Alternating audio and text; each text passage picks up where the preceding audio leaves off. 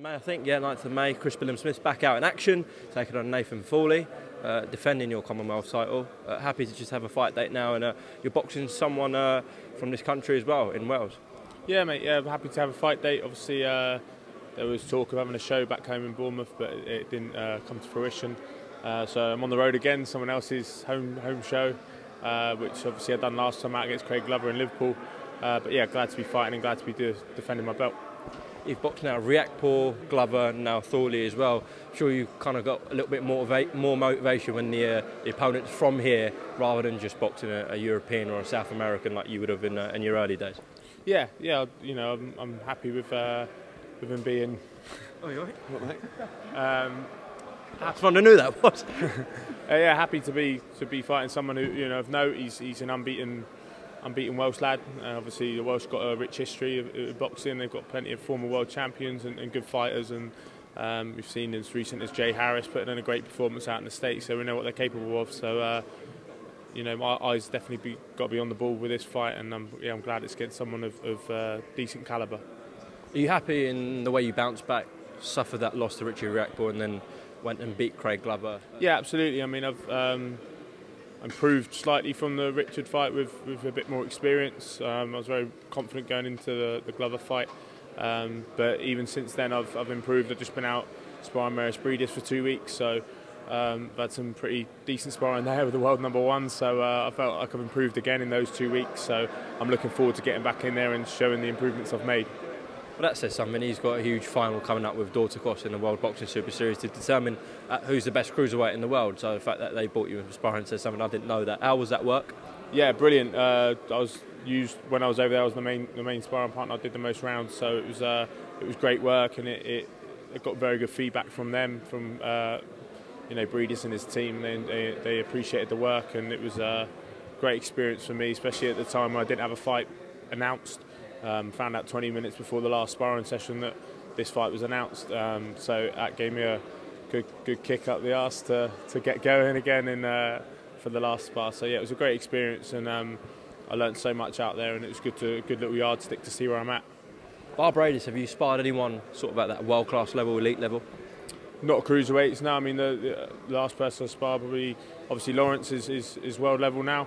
Um, so we're lucky to have him in the gym. But then we've got obviously before that was the likes of George Groves and and, people like that. So um, it was a great experience to you know go to someone else's backyard and on their terms and be brought in as a sparring partner because sometimes that can be you know intimidating. It's different when it's in your gym. Like with me and Lawrence, obviously we've got the same coach, so it's not as intimidating. But it was good going over there and, and experiencing that. It was a the gym was just a very small little gym in a, in a basement of this this centre. So uh, that was uh, interesting. But I had Josh Pritchard out there with me, and yeah, we had a, a, great trip.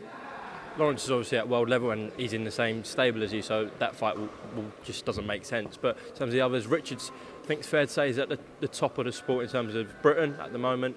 Bar that, there's a ton of cruiserweights. Who are you eyeing up? Do you think you should all kind of just fight each other and then see who kind of gets a shot at Richard or moves on to world level?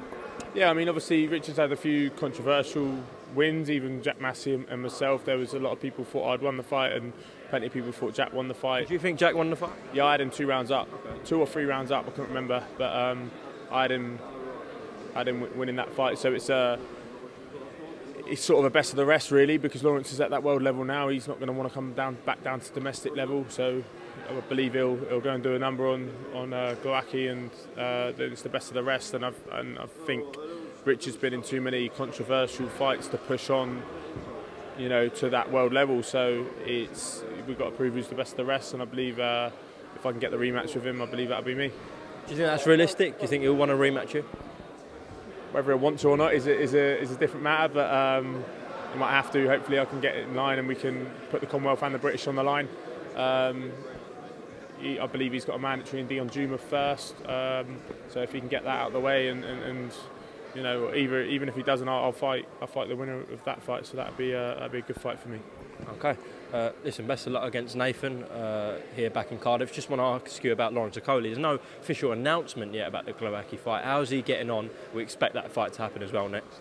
Yeah, obviously they're, in, they're, still in talks. They're trying to sort of date, I believe, and uh, he's been been in camp. Uh, to taper it off a little bit, uh, to obviously because it got put back. It was going to be March, I believe, and I think it's getting put back towards May June time now, if, if I'm not mistaken. So, yeah, he's, he's, he's Lawrence. He's he's been training hard, and like I said, but other than the tapering down, it's it's been been been all go. So. Uh, he's same old Lawrence. He's funny. He's confident, and he's uh, he's looking forward to becoming world champion. We look forward to it as well. Listen, Chris, uh, best of luck in camp uh, back here in May defending your Commonwealth title. Is there anything you want to add? All good, mate. All good. Cheers, mate. Thanks for your time.